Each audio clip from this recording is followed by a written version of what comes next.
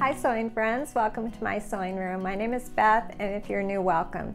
Today I'm going to show you how to make a block from this quilt, this red and green quilt. It's appropriate for the holidays or any time of year.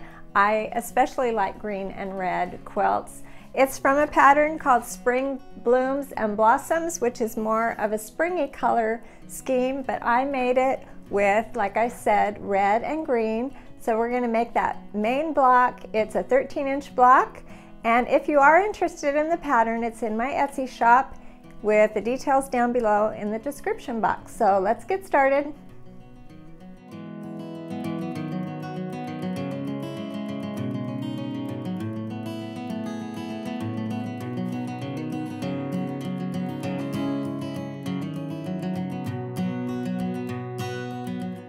After pressing my scraps, I cut my pieces I'm going to need. For this block, I need four three inch red squares. So I'm cutting my four three inch squares here, and then I'm going to need two that are three and a half inches for my half square triangles.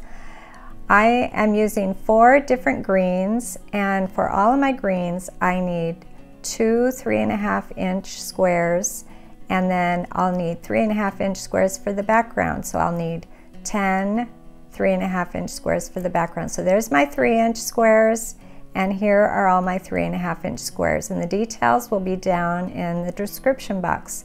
So I've got two, two, and two. And when I'm done, I will have one half square triangle left over from each of those green sets. So I'll have four leftover half square triangles but that's okay because I'll be making more blocks and I can always use leftover half square triangles. This white is kind of interesting. It's got a little bit of a design on it. It's a little bit hard to see the right side, so I had to be careful trying to get those stars to be on the right side.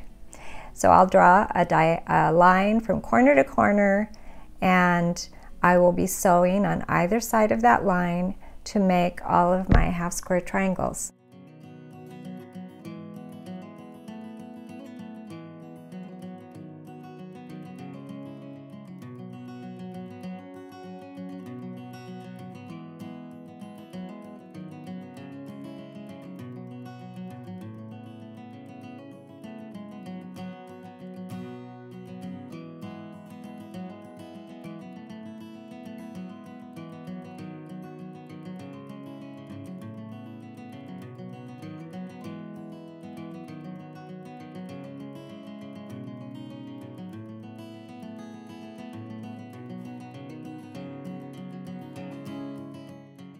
After sewing on both sides of my pencil line, I pressed all of my half square triangles and then I trimmed them all to three inches.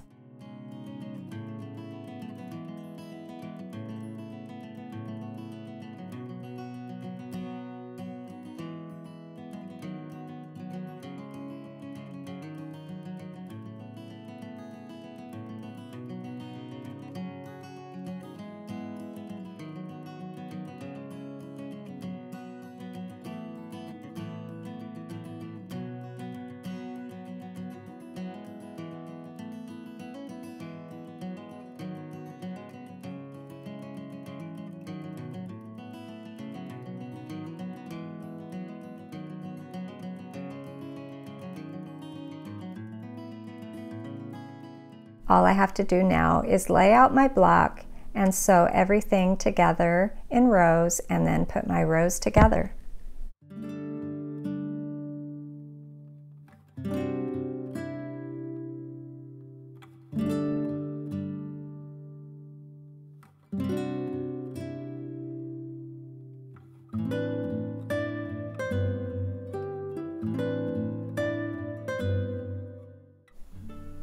As you can see, with each of these sets of green half square triangles, I have one left over that I will set aside and use later in this quilt, or I'll use them in another project.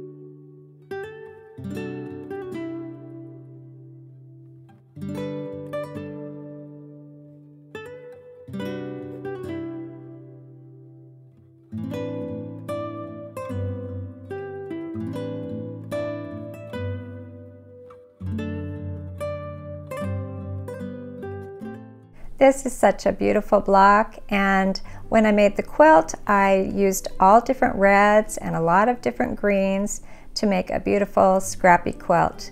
Thanks for joining me today and I'll see you next time.